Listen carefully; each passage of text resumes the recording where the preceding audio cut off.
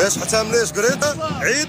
معلش شو صار أكلنا أربع نار. والله أكلنا أربع نار آه والله؟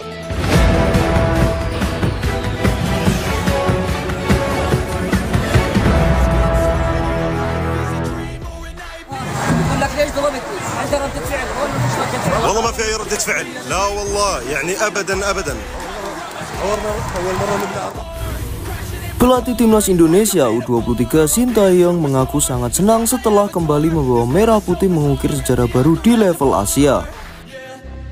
Setelah mengantarkan timnas senior menembus babak 16 besar Piala Asia 2023 untuk pertama kalinya pada awal tahun ini, pelatih asal Korea Selatan itu kembali membuktikan kualitasnya dengan membawa level timnas U23 menembus perempat final Piala Asia U23 untuk pertama kalinya sepanjang sejarah.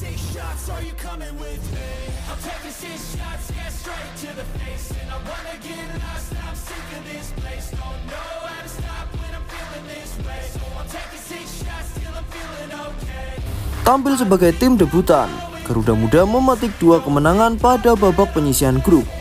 Grup A Piala Asia U23 2024 Qatar dan kemenangan kedua yang dicetak pada laga terakhir saat berpesta melawan Yordania U23 dengan skor telak 4-1 di Stadion Abdullah bin Khalifa Doha Minggu 21 April.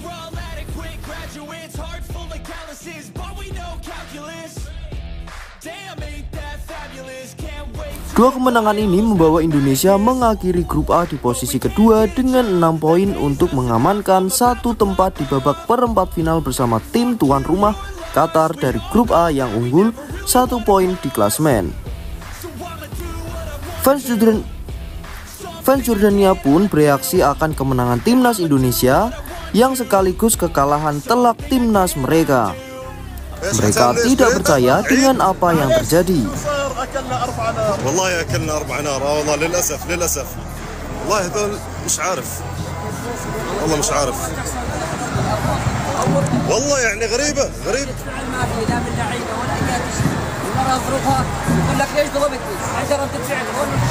والله ما في أي رده فعل. لا والله يعني ابدا ابدا. اول مره اول مره نبدا Sepak bola Jordania yang punya reputasi baik di Timur Tengah kalah begitu saja dengan Indonesia yang notabene sebagai tim debutan. Jordania tak berkutik dibantai tim Garuda dengan skor 1-4. Melihat hal tersebut, gimana menurutmu guys? Coba tulis pendapatmu di kolom komentar. Very direct, little ball through, and the finish from Suleiman is absolutely magnificent. What a delightful goal from Indonesia.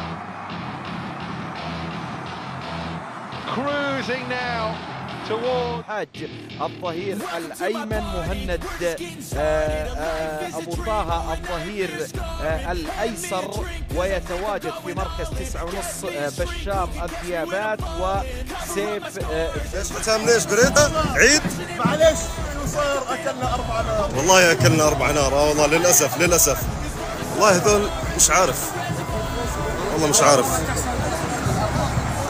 والله يعني غريبة غريبة. ما في لا من لعيبه ولا اي شيء المرأة ظروفها يقول لك ليش ضربتني؟ عندها ردة فعل ولا مش ردة فعل؟ والله ما في اي رده فعل لا والله يعني ابدا ابدا اول مره اول mara نبدا اربع Cantik rasa, sudah saatnya kita berpisah. Khusus buat kamu, nggak perlu khawatir. Kita akan berjumpa lagi dengan video berikutnya Timnas Magazine. Nah, biar kamu terus update seputar Timnas Indonesia. Jangan lupa subscribe Timnas Magazine.